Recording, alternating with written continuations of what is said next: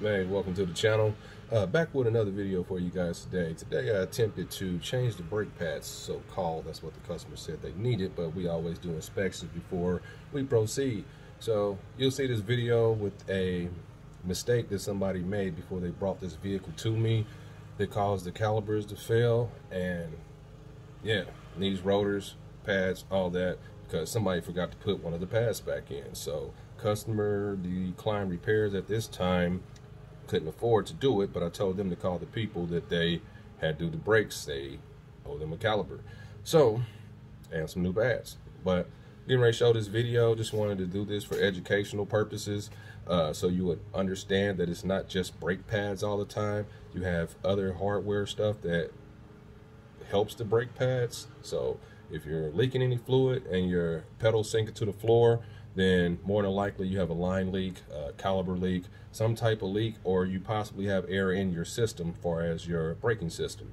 But 90% of the time, if you're leaking fluid and your pedal's going to the floor, you have either a bad piston, well, piston in the caliper, it could be leaking from the master cylinder. It's various spots that it could leak from, but always check your wheels. So if your pedals are sinking to the floor, uh, look for wetness around each tire uh, in this case, it was the front driver. So just wanted to do this uh, prequel to let you know what I was going through and they were not able to afford the repair today. So yeah, 2007 Chrysler Sebring front brakes. Um, when they do or if they do come back, I'll make a video for the whole repair. So yeah, to the next video. Hopefully this helps you out. Here we go. Just wanted to add one more thing. If your brake light comes on, on your dash, 90% of the time, you have an empty reservoir. So that means you have completely ran out of fluid because there's a sensor in your reservoir that lets you know that it is lower than it should be, which causes the brake light to come on. So just wanted to add that. Let's get on with the video. Hey, welcome to or welcome back to the channel. Chris back with another video for you guys. Today I'm on the 2007 Chrysler Sebring. Get ready to see what's happening with these front brakes. The issue that we have, we had some calipers, calipers replaced recently, but we have a fluid leak. And I'm getting ready to disassemble this guy so we can see what's going on inside. So let me set my camera up and it looks like something suspect already. So let me set it up and be right back. All right, so we back in here. Let's see what's going on with this caliper real quick. Make sure your wrench is right tight, lefty loosey. Should be able to smack it like that and they break free. All right, let's got one. Let's get this one free. And if you can't do that, you can use a hammer and hit the neck of your uh, wrench. All right, so we got that loose. Let me get my friend. Make the job a little easier and quicker. Mr. Milwaukee. Right tight, lefty loosey.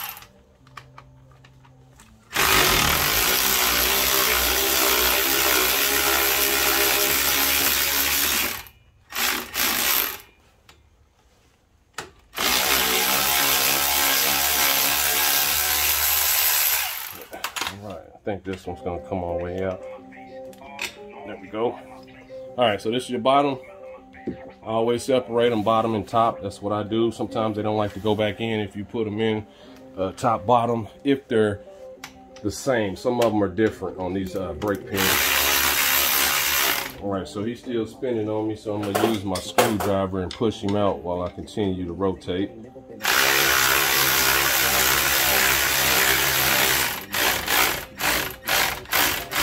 I just hope we don't have a stripped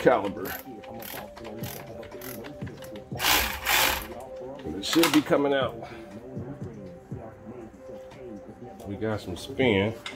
All right, so I'm gonna work this guy out. See what we can do because the ratchet's not, impact ratchet's not coming out. So let's see. I'm kind of cocky. So what I'm doing is kind of cocking my wrench, trying to help guide it out. But we might have some issues because this is just spinning in a circle. All right, so somebody changed these pads recently and let's see what's going on inside. I think I can at least open it up and see what's happening. Because the bottom's open. Let's see. All right, so see this right here, guys? This is when somebody doesn't forgets to put the pads on. So you got one pad on this side, no pad on this side. heat and everything that caused this to fail and we have a busted caliper.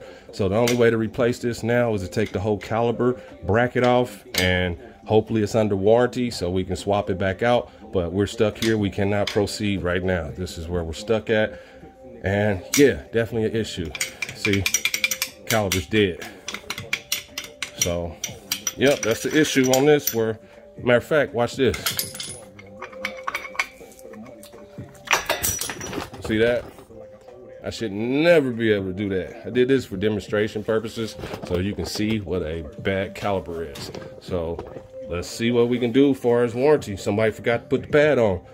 And gonna have to get a rotor, of course, new caliper and new pads, pads are under warranty. So hopefully we can finish this job today and I'm gonna stop the video for here. See you in a bit. All right, so the customer decided not to get the repair done today. I guess for financial purposes, but hopefully they'll bring it back and get it repaired. And I told them it was not safe to drive. Definitely don't drive it. But we'll see if they come back. But just wanted to do this. Hopefully they do, and I can do a full video on the repair. But yeah, thanks for watching, and see you on the next one. Like I always say, rest is the enemy, and I'm out.